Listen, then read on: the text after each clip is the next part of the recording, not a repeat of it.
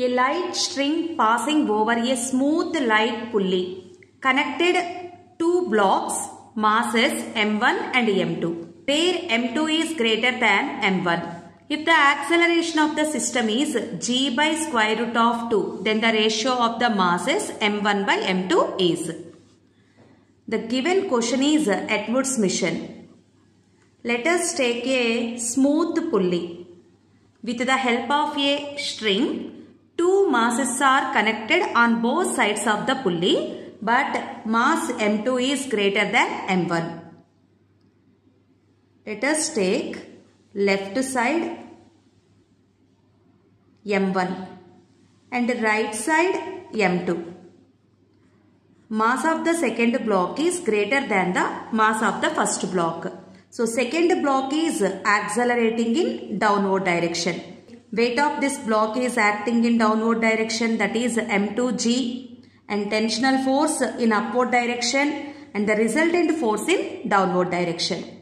m1 weight acting in downward direction, tensional force upward direction and resultant acceleration in upward direction. Take m1 this is the direction of the tensional force and this is the direction of the weight of the block and acceleration in upward direction. Mass of the block is less. So tensional force is greater than the weight. T minus M1G is equals to M1A. And take the second block M2. Here weight is greater than tensional force. So resultant acceleration in downward direction. M2G minus T is equals to M2A. Here we know T is equals to M1G plus M1A. Here on both sides string is same. So tensional force also same. M2G is equals to M1G plus M1A plus M2A.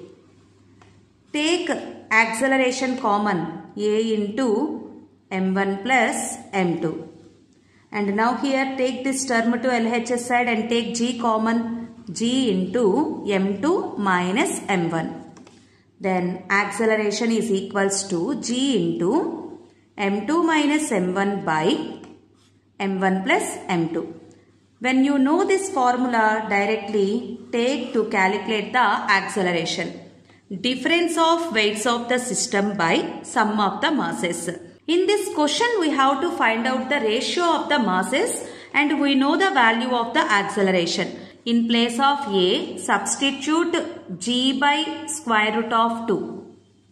Here g into m2 minus m1 by m1 plus m2. A cross multiplication. m1 plus m2 root 2 into m2 minus m1. So root 2 m2 minus square root of 2 into m1. Take this minus term to LHS side. m1 plus root 2 m1 is equals to root 2 m2 minus m2. m1 common 1 plus root 2. And here m2 common m2 into root 2 minus 1. We want the ratio of m1 by m2. m1 by m2 is equals to root 2 minus 1 by root 2 plus 1. This is the ratio of the masses of the system. m1 by m2 is equals to square root of 2 minus 1 by square root of 2 plus 1. First option is correct.